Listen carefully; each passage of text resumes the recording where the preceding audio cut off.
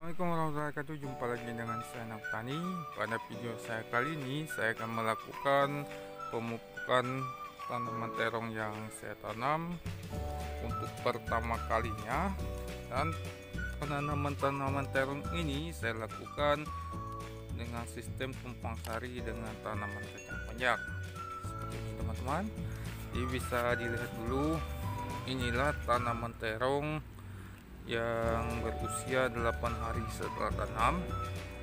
Jadi sebelum pemupukan pertama ini saya sudah melakukan penaburan dolomit di usia 4 hari setelah tanam tempo hari.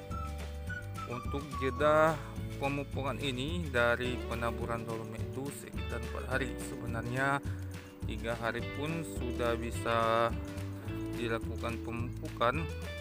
Setelah penaburan dolomit kemarin saya sibuk jadi baru hari ini saya lakukan pemupukan Oke untuk pemupukan pertama kali ini saya hanya menggunakan satu jenis pupuk saja yaitu NPK 1616 atau NPK Mutiara dengan takaran kecil terlebih dahulu karena ini usia tanamannya juga masih kecil jadi kita hanya gunakan takaran 5 gram per 1 liter air. Yang biasa saya gunakan untuk 200 liter jadi saya siapkan pupuk ini sebanyak 1 kilo. Seperti itu teman-teman. Tidak perlu terlalu banyak dulu karena usia tanamannya masih kecil. Juga tanamannya pun masih kecil Oke saya akan melakukan pencampuran terlebih dahulu kemudian saya akan aplikasikan ke tanaman. Oke teman-teman sekarang saya akan melakukan pemupukan ke tanaman. Kita lakukan di area pungkil batang terlebih dahulu teman-teman. Ini. Untuk takaran pertanaman kita gunakan 150 hingga 200 ml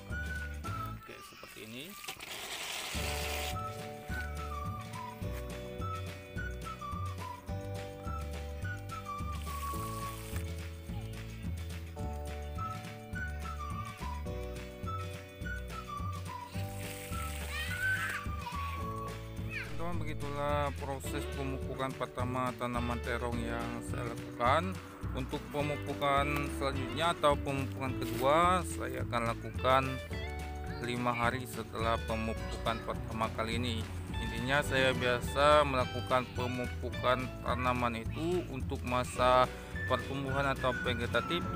Saya lakukan setiap lima hari sekali untuk memacu pertumbuhan masa vegetatifnya.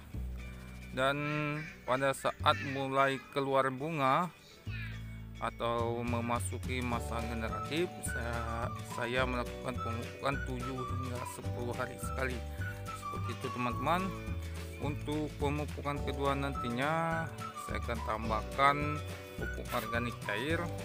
Karena memang bisa teman-teman ketahui dan yang saya gunakan ini sudah tiga kali penanaman dengan ini.